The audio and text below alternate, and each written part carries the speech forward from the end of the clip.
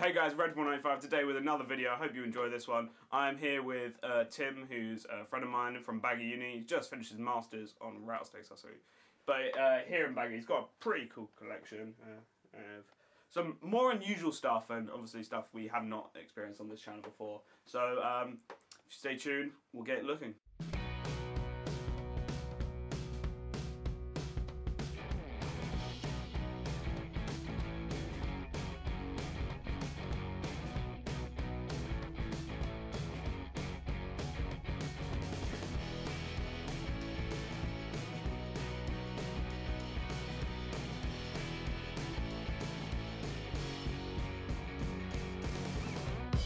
So as I was saying before, he's got a pretty decent collection. Like if you just have a quick look around, we're going to go through everything, uh, have a quick look, uh, get a bit more about each species. But um, how about we start here, Tim? So what are these guys? So these are mountain horn dragons, um, Acanthosaura capra. They're the the most common, if you like, species of mountain horn dragon in the hobby, um, but they're not regularly captive bred really, especially in the UK. Um, but these babies are about six weeks oldish. Um, they're from Southeast Asia and they're sort of they're primarily insectivorous and like a truly arboreal species. They only really come to the ground to to feed or to lay eggs. Yeah, so they're, they're pretty cool. We'll be seeing uh, the adults in a bit, but they're, really cool. I think like it's just uh, done very well to get like 18 it was in one clutch and for all of them to successfully hatch that is uh, remarkable actually mm. I would say. So over here we've got um was it? You got three male um they, they are adults right? Yeah, yeah. these are uh, rhino horn lizards. They're um, a Sri Lankan agamid species. They're sort of small um, but quite colourful. They they're sort of called the rhino horn lizard for the yeah, the rhino reasons. horn, if you like, on the head. Um, the males are nice and colourful. You can sort of see better colour there. A nice, nice green pattern. Yeah, and I mean the, that one's got a really good horn. The yeah. the rhino horn, as they say, um, on the face.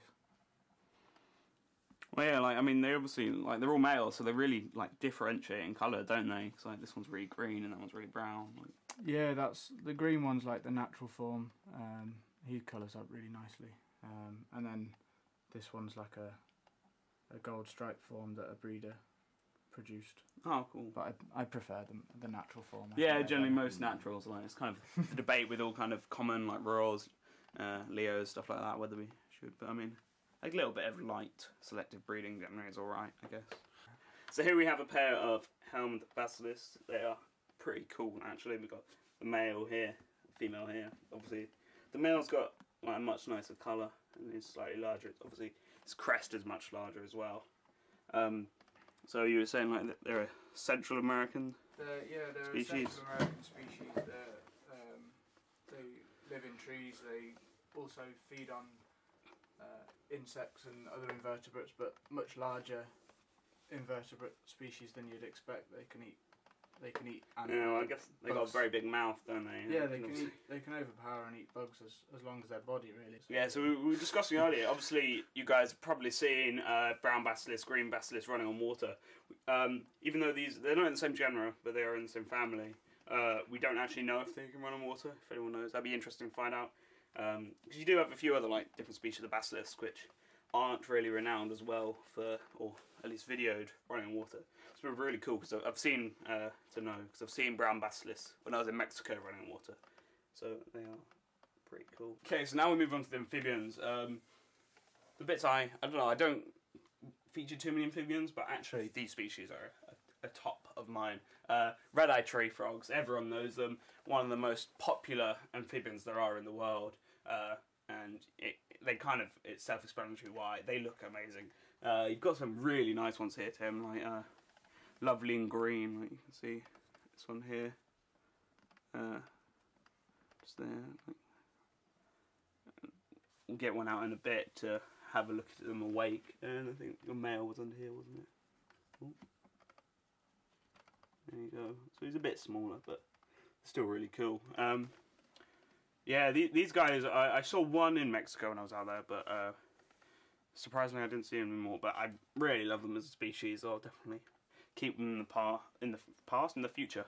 So, um, uh, you got a really nice planted setup here, and amphibians in general do really well in planted setups, which is really cool.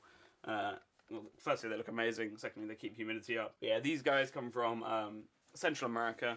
Um, from Mexico all the way down to I don't know. They probably do they pro- they probably hit into South America, don't they? Yeah, a very wide distribution uh, species. Um, so you can see them pretty much anywhere in Central America and beyond. Uh, really nice. I'm a big fan of these guys. Again, they are insectivorous.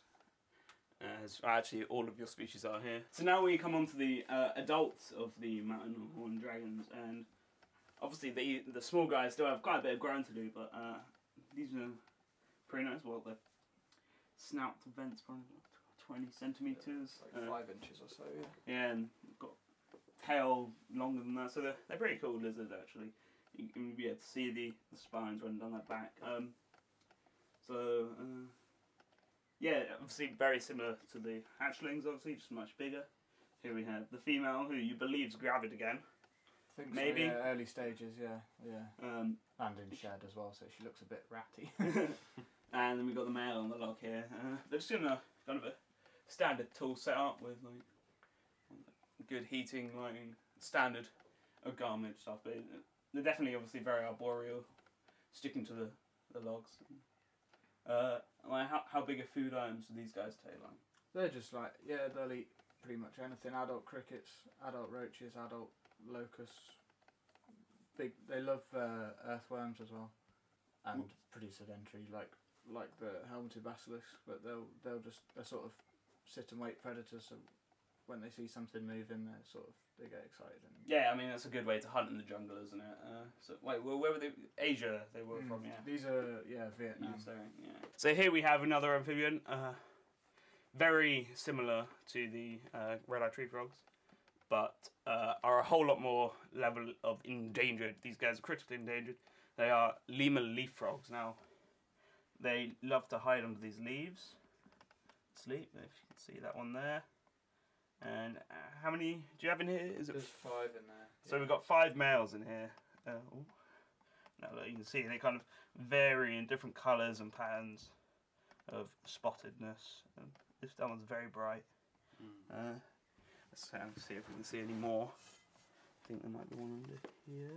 Yes. There we go. These guys are really cool. What was that? I don't know. um, I don't know as much about these guys as like the red eye. So tell me a bit more of like what, what's the distribution Yeah, they're, that. they're, um, where the, the red eyes will occur in sort of lowland rainforest, whereas these are a, a cloud forest species. Um, there's a was a Costa, uh, like a Costa Rican population and a Panamanian population. Um, these are from the Costa Rican population. Um, they're doing some really good work out at the Costa Rican Amphibian Research Centre um, as a captive breeding and reintroduction program with this species um, that's going really well. Um, that's affiliated with uh, Manchester Museum. They're doing some really good captive breeding work there, um, and so you can go onto their website uh, to find out more about this species. Um, they're uh, they kept at cool temperatures, very humid, um, and they're the same. They they inverts as well, just like small crickets, small roaches, um, some flies and moths and stuff. Um, they love it. They're really easy to keep actually, but um, as I say, they're they're very rare and uh, shouldn't be just a, a a species that anyone goes out to to get, even though they are really cool and rewarded. So these guys uh, are also in a very nice kind of well planted live setup. Uh, well, not as much in features, but like these guys really love to stick under the leaves, so it doesn't matter as much. Uh, they're obviously enjoying their setup here with the water dish and stuff, so they can soak. And uh, as you said, humidity's kept high. Uh, these guys also stay quite a bit smaller than the red eyes, which is uh, come back on. Look, we've got some more of the. Uh, I know, I know you question more. Geez, uh, of the same clutch of the mountain horn lizards, so uh, they're pretty cool. Yeah, here we go. He also like has to breed his own stuff. He's got to incubate his own stuff, and uh, this is one extra on a second clutch you had of the mountain horn lizards, isn't it? That's what you were saying. Yeah, it's uh, just the one lonesome egg now. Um, I got another big clutch, but the much lower quality. So I've unfortunately lost all of them except this one, but this one seems to be fine. So So here's the other incubator, as promised. Uh, what Herp Nursery too. Um, so these are the uh, eggs from the helmeted bed basilisk, and we've got seven. So yeah, um, there's seven in there. yeah, uh, two tubs. You were saying these would be the first spread in the UK? Yeah. Hmm. Yeah. So yeah. uh, so there's a couple of well, there's one other person that has um has had some eggs before off a female. He didn't breed her though. She came in gravid. Um, yeah. and then they laid, but they they never hatched. They sort of they're fully formed. Oh, okay.